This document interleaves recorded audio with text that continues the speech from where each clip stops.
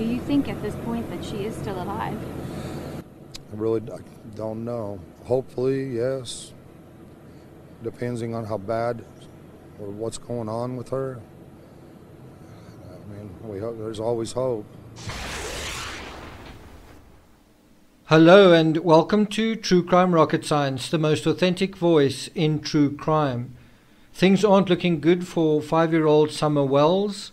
At this point, every hour and every day that passes, the likelihood increases that she's no longer alive. When Donald Wells made his statement to the media, it was difficult to get a read on him.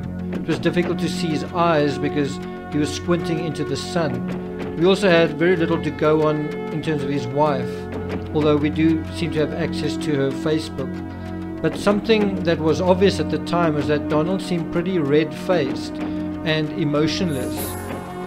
Heavy drinkers often have a flushed face from regular intoxication. The scientific term for it is telangiectasia. So, if your face turns red after a couple of glasses of wine, um, that is a normal facial flushing when someone drinks alcohol. Um, the technical term for this is alcohol flush reaction. That's not what we're talking about here. Um, it's got something to do with um, difficulty digesting alcohol in that particular case. When we talk about this facial redness, it's a symptom of alcohol abuse, and you actually have a persistently red face. It's not just um, one or two days, it's persistently red, and it's due to um, blood vessels that actually start enlarging. And this word telangiectasia um, is another word for spider. Um, the rupturing of these some of these vessels um, has the appearance of spiders on the cheeks and so on. And when enough of them rupture, you have this overall sort of um, appearance of blushing, and it is um, it is associated with sustained alcohol intake and um, alcoholism. So, is there alcoholism in the Wells family? I'm going to get to that in a moment. Um, but of course, this appearance of it on the cheeks suggests that there's something going on there. The other thing that I think is unfortunately worth highlighting is Summer is the only little girl in the Wells family, and she's also the youngest. What does this mean in the context of potentially an angry alcoholic? What is quite interesting in the um, appearance that Donald Wells gave to the media is looking at his son. Throughout the whole time that he was on camera, the boy looked down. Um, he he appeared cowed, silent, scared. And so I think one potential area for law enforcement to look at are the other children get a version of events from them, if at all possible. Find out what is going on behind um, behind the scenes, what was going on in the family dynamics from the children. As many of you are aware, there's also the disappearance of 22-year-old Rosemary Bly, who was Summer um, Wells's aunt and Candus's sister, and that was in 2009. And it's possible that she simply um, went to a truck stop. Perhaps she was unhappily married, went to a truck stop, got on to got a ride with a trucker, and you know rode off into the sunset. I don't believe that's the case, though. Um, it's still uh, officially an unsolved disappearance, Rosemary Bly, and if that is the case, then one's got to wonder whether if someone was involved in Rosemary Bly's disappearance and got away with it 12 years ago, um, has that same person not struck again here?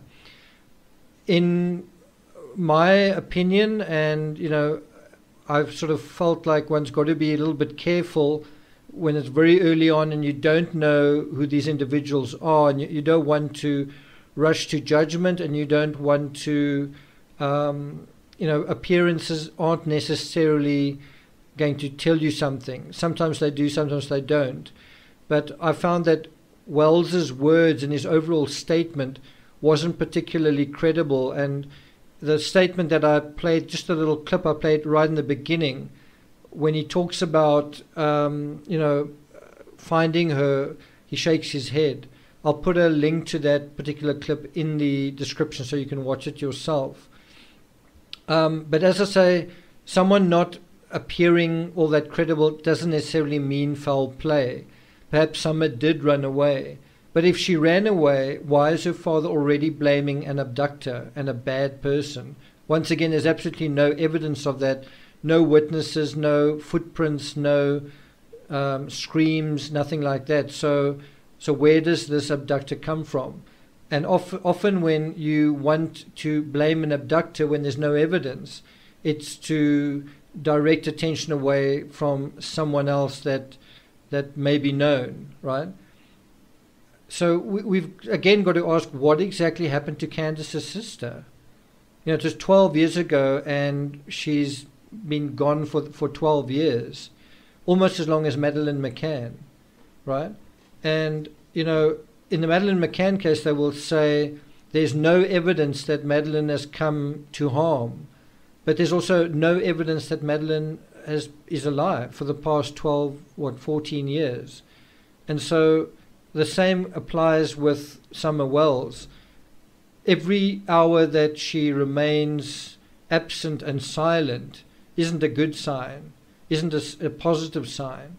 Every um, hour that becomes a day that she remains missing isn't um, sort of evidence that nothing has happened to her it's a growing sense that something probably has happened that, that's not good, as we saw with Suzanne Morphew and the, uh, you know, Lori in the Lori Vallow case with um, uh, Tylee and JJ. So often when you when someone just disappears and, and you don't hear from them, it's not a good sign, and it often doesn't end happily ever after. Now to come back to um, that that red face that, that sort of red appearance on Donald's cheeks. Okay, and once again, the pronunciation is telangiectasia. It's an abnormal dilation of red, blue, or purple superficial capillaries. And um, we are assuming that this may have something to do with alcohol um, abuse. And so it turns out that about a year ago, um, Wells was arrested during a felony stop in the driveway. Officers apparently noticed a strong odor of alcohol on Wells and said he was stumbling when picked up off the ground.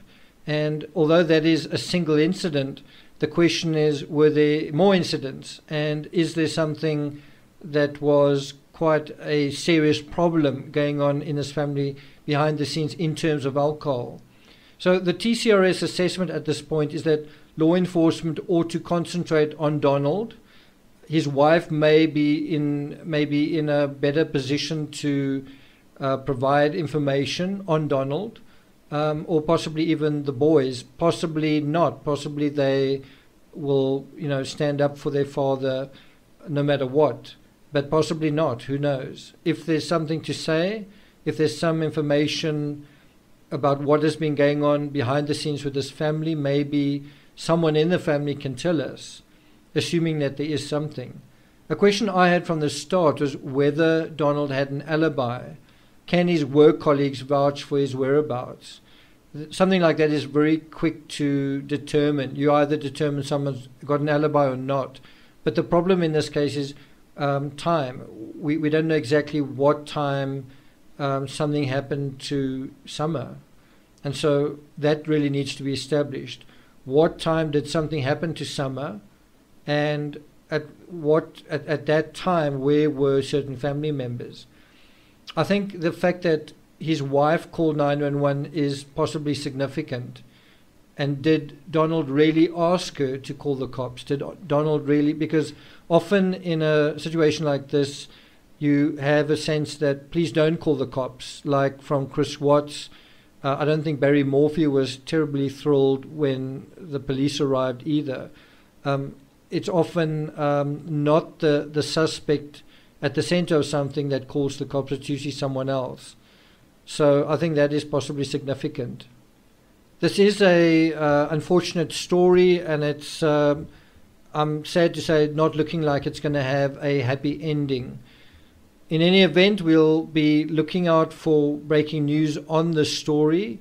So if you haven't subscribed yet to this channel, please do. Like, share, leave a comment, and I'll see you guys next time.